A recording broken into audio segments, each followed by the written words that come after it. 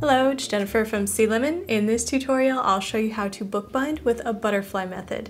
This is very similar to the double needle Coptic stitch method I've shown in the past. In fact, I think it's even easier than that. It's done with two needle sections, which alternate, but there is no looping or linking to other threads on the outside of the spine. This gives you a minimal look to the exposed binding and you can mix it up with alternating thread colors. Before we begin, do me a favor and give this video a like so the algorithm will share it. And if you want to help me rely less on the YouTube algorithm, consider becoming a patron or a member. You will get perks along with supporting my efforts to make more nerdy bookbinding content. For this book, I'll be using two sheets of cardstock for the covers and 32 sheets of letter size paper for the inside pages. Some patrons have already seen this, but in case you haven't, uh, this cardstock is actually a test print of my own pattern design for my own decorative paper, which I plan on selling in my Etsy shop sometime around the fall. I'm still testing out different paperweights and printers, so it's not available yet, but you can stay tuned for updates and you can also follow my vlog channel if you want to see the process that I'm going through while I figure out my first paper pack. Now I'm stacking four sheets together and folding them in half to make a signature. I made six signatures this way. For the front and back signature, I'm using three sheets of the white paper and putting that inside the cardstock. Folding it in half and making two of those. So total I have eight signatures. This is what I wanted to work with, but feel free to adjust the number of signatures and use different covers if you'd like. Now I'm marking out where to make the binding holes on each signature with my binding guide, and piercing through to make four evenly spaced holes. You can also do this process with an awl and a cutting mat. I did this to all eight signatures, and now we can move on to the binding. I first learned how to do this method from this book by Keith Smith. I'll link it down below if you want to check it out. According to this, the butterfly method was originally called the Japanese four needle sewing, but it was later called the butterfly so it wouldn't get confused with the Japanese four hole binding, which is a totally different binding, which I also have a tutorial for. This book helped me out, but I later found it easier to do it more like a two needle Coptic stitch method. If you've seen that tutorial of mine, you'll see later what I'm talking about. It's very similar. I'm working in sections of two, and each section will need two needles, one on each end of the thread. To show you what two colors of thread looks like, I'll do one section in these two colors and then the other section in just one. To estimate the amount of thread, I like to string the thread along the width of the section just to get a good estimate, but honestly this binding doesn't take that much thread and this is way more than enough.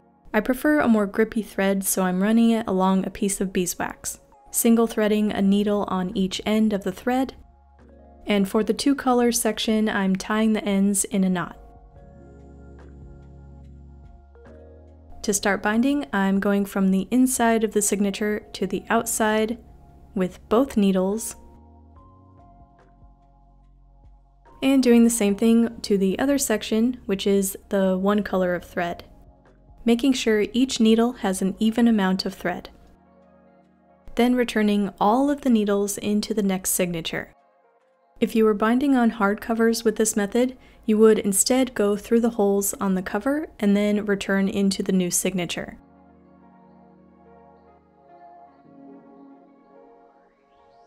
Now all of the sections of thread have been pulled in, they're going to alternate.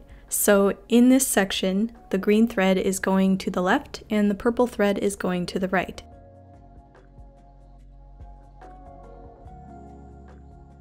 Then I'm repeating that on the next section, so both sides of thread switch place, they cross over each other. Then return the needles through a new signature.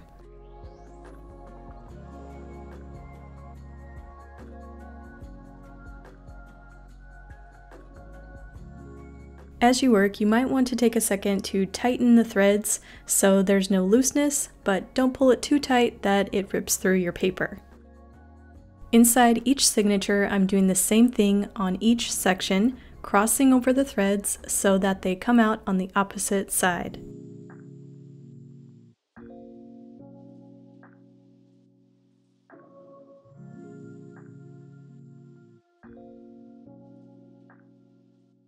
On the section with two colors of thread, you'll start to see a cool pattern form where the colors alternate.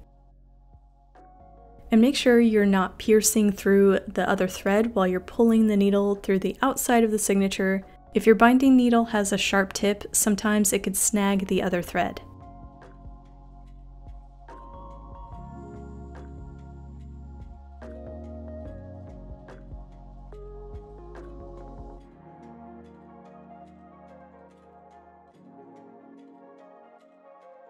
When you reach the last signature, you can do the same process, pulling all needles to the inside.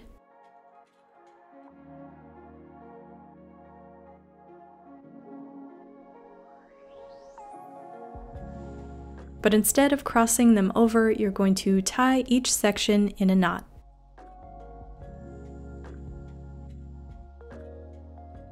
And trim off any excess thread. This method doesn't give you any loops or stitches to the outside of the spine, giving you a minimal row of threads. I especially like the two colors, and you could use this in a combination with other two section methods, for example, using this with the two needle Coptic stitch or this with a French link stitch. And like other exposed bindings, this does help your book lay completely flat if you open the pages all the way.